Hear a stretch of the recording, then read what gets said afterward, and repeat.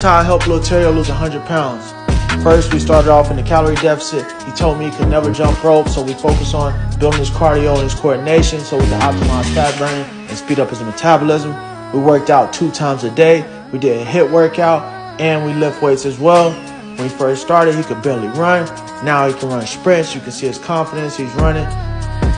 He had a weak core, so we did modified Bosu ball sit-ups, and then we gradually advance to where he can do ab sit-ups on the bench, decline. We lift weights. Over time, you know, his body fat percentage decreased tremendously. His muscle mass increased.